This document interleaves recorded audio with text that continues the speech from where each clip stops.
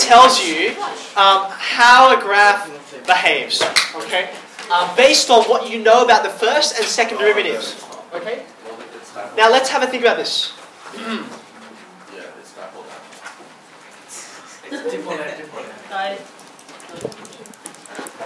Let's have a think about this. First derivative up the top, second derivative uh, along the side.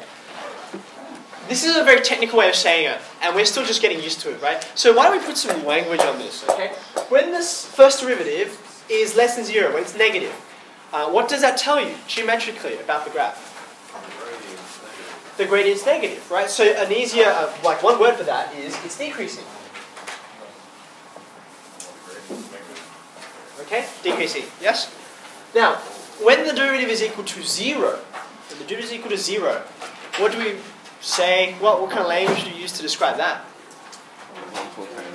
Uh, we would say it's, it's not going up and it's not going down, right? So therefore it's stationary, right? Not moving. And of course that's decreasing, this is positive, so this is increasing. Okay, that's the first derivative. Now, second derivative, okay? I should stay on this side actually. Again, negative, zero, positive. This tells you, instead of gradient, this tells you about concavity, right? So I guess we would say concave down, right? If that's concave down, I guess this would be concave up. How do we describe the middle one? When the second derivative is equal to zero. Um, I guess we say no concavity, right? It's not one or the other. Okay, now, let's start to fill this in, okay?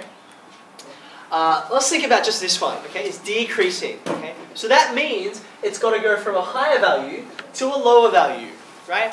And in fact, all of the things in this column, you're going to go from a higher value to a lower value, right? But how does it get there? Well, it's concave down, right? Concave down, it's facing down. So this is the kind of shape you're going to get. To be curved. Okay, can you see that? Decreasing and concave down. Let's think about this one. Um, decreasing and there's no concavity. Hmm, what would that mean? Well, you got two alternatives. Number one, when you got the um, second derivative being equal to zero, we just saw that often that'll give you a uh, point of inflection, right? Not always, but often. Okay. So what would a decreasing point of inflection look like? Well, it'd be concave up and then it'd be concave down. And at that particular point, right in the middle, the second derivative will be equal to zero. Okay? So you have a um, point of inflection at that point. But that's not the only way to have a decreasing function with a second derivative equal to zero. Okay? Because take a line like, say, y equals minus x. Okay? You differentiate once. And you've got a negative value, which corresponds to this. But then you differentiate again. And sure enough, um, you have no concavity, which makes sense because it's a straight line. It's not curved one way or the other. Okay? So this is not just a point of inflection. Um, this can also just be a straight line. Okay? You see that's got no concavity and it's still decreasing. Okay? Alright, last one. It's still decreasing, going from higher to lower, but it's facing upwards, right? Concave up. So this is the kind of shape that I've got. Okay, now we'll fill out this side, the right hand side, and we'll go to the middle last, because the right hand side is just the reverse of the left hand side. This time I'm increasing and I'm concave down. So I'm going from lower to higher. Concave down. So it'll be a mirror image. Can you see that? Uh, this will also be the mirror image. You've got your straight line, okay, it's increasing with no concavity, or you've got another kind of point of inflection.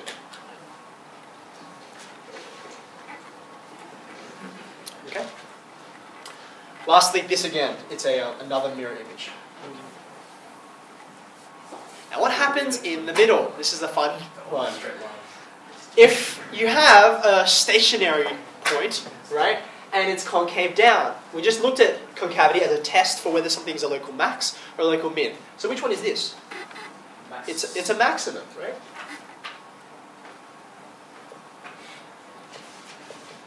Okay, maximum turning point. Let's do this one because it's easier, then we'll go into the middle. If it's concave up and you've got the derivative being zero, then it's going to be a minimum.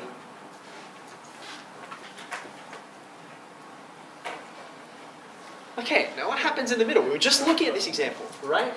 If you've got a stationary point and it's a point of inflection at the same time, what kind of point could it be? Horizontal line. Right, we call it we call it a horizontal point of inflection. This looks like an animal or So- something. I'm not even kidding. What? It does. Like, Oh, it does of- sort of. Yeah. Yeah, okay, anyway. Now, by the way, that's not the only kind of horizontal point of inflection you can have, right? You can have it the other way. Yes?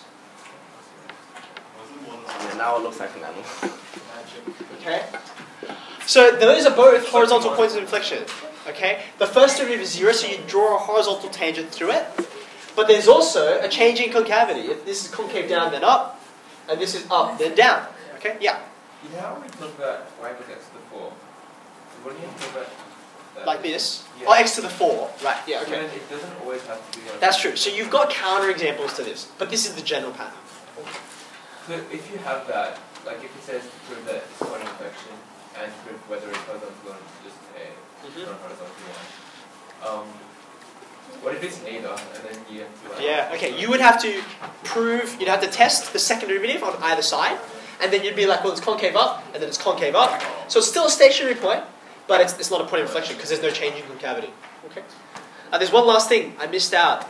You remember we had these straight lines here, right? Because straight lines, I by definition, they have no concavity, right? So I ought to have a straight line here. What kind? It should be horizontal because the derivative, the first derivative, is zero. That's right. It does look like you. Okay? So there's our family functions. I suppose if you're like, you could include, you know, this guy here. Um, that's x to the 4, right? Because that, that was the counter example we looked at. Six. Um, and to the 6 and so on and so on. Because there are so many different kinds, and they're the exception, uh, that's why I'm not including them. This is the general idea. Okay, this is the general idea. As you increase the path, you just get flatter.